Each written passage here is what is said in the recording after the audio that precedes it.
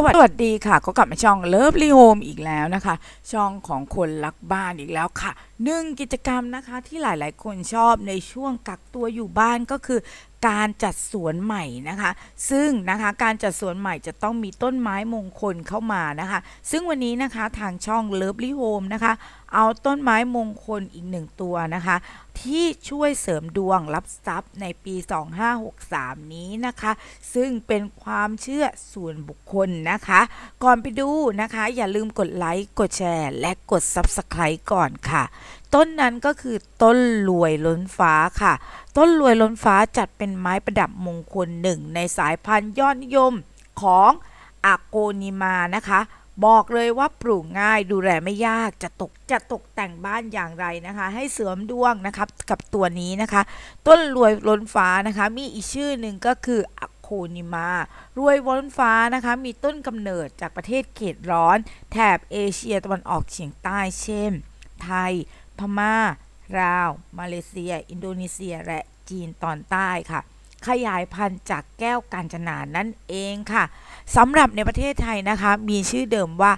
ว่านเขียวหมื่นปี หรือว่านขันหมากค่ะ ต่อมาในรัชกาลที่ 10 นะคะ ท่านได้ประทานชื่อให้ใหม่ว่านะคะ ต้นรวยล้นฟ้า ซึ่งได้รับการยกย่องนะคะ ให้เป็นราชาแห่งไม้ประดับนะคะ ซึ่งปัจจุบันนี้มีการพัฒนาสายพันธุ์ไปหลากหลายชนิดเลยนะคะ ชื่อและความเป็นมงคลนะคะของว่านรวยล้นฟ้า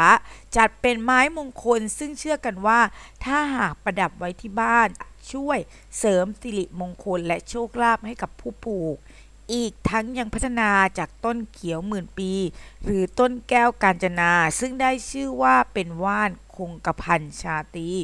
จึงถือว่าเป็นต้นไม้ที่สวยงาม เสริมสง่าราศีแก่สถานที่ปลูกและบ้านนั่นเองค่ะ ลักษณะของต้นรวยล้นฟ้านะคะ ต้นรวยล้นฟ้านะคะ เป็นไม้พุ่มหนาขนาดเล็ก สูงโดยประมาณ 18 เซนติเมตร อายุยืนนานหลายปี มีใบสวยเรียงวนรอบลำต้น ตั้งแต่โคนจนถึงปลาย ใบเป็นใบเดี่ยว รูปไข่ขนาดค่อนหนานะคะ ปลายเรียวแหลมเป็นติ่ง โคนมนคล้ายหัวใจ ขอบใบเรียบ ผิวใบเกลี้ยงเป็นมัน เส้นใบนูนมีร่องลึก ผ่นใบเป็นสีเขียวเข้มปนอ่อน เส้นกลางใบเป็นสีแดงชัดเจน ก้านใบเป็นสีชมพูอ่อน ลิ้นใบเป็นสีแดง และหลังใบเป็นสีชมพูปนจุดสีเขียวค่ะ โดยเส้นกลางใบจะนูนชัดเจน บริเวณกลางใบจะอ่อนลงบริเวณปลายใบนะคะ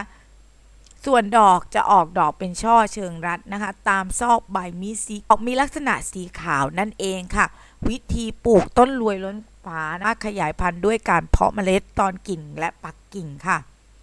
ส่วนวิธีที่นิยมมากที่สุดคือการแยกหน่อหรือแยกเงานะคะ เพราะจะช่วยให้ต้นที่แข็งแรงและรวดเร็ว สวยงามเหมือนต้นพ่อแม่นั่นเองค่ะ โดยต้นรวยล้นฟ้านะคะ ชอบดินที่มีความชื้นสูง แต่ไม่แฉะเกินไปค่ะ อีกทั้งยังชอบดินร่วนปนทรายระบายน้ำดีนะคะ หน้าดินลึกนะคะ มีอินทรีย์วัตถุสูง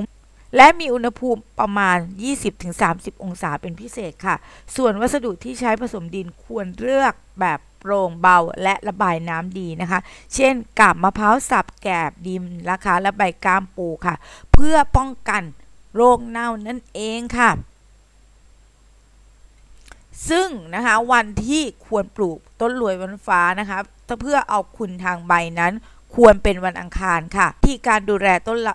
วิธีการดูแลต้นรวยล้นฟ้านะคะ วิธีการดูแลนะคะ ให้ปลูกบริเวณที่มีแสงลำไรนะคะ มีแสงสว่างไม่เกิน 50%แต่ต้องตั้งให้โดนแดดนะคะ สม่ำเสมอทั้งวัน พร้อมระวังอย่าให้แดดจัดมากเกินไปนะคะ เพราะจะทำให้ใบสั้น ใบไม้กานตั้งตรงไม่สวยงามนั่นเองค่ะส่วนน้ำนะคะ ต้นนี้จะชอบปริมาณน้ำชอบความชื้นนะคะ แต่อย่าให้แฉะ ควรรดน้ำวันละ 1-2 ครั้ง ถ้าหน้าแรงหรือหน้าร้อนนะคะ ควรลดเพิ่มขึ้นนะคะ ให้สังเกตจากความชื้นของดินนั่นเองค่ะ ส่วนการใส่ปุ๋ยนะคะ ให้ใส่ปุ๋ยมูลขี้ไก่นะคะ สุดท้ายวัสดุให้เปลี่ยนใหม่ทุก 8 เดือนค่ะ ถ้าหากว่าต้นไม่เจริญเติบโตให้ลองเปลี่ยนวัสดุปลูกใหม่เรื่อย ๆ นั่นเองค่ะ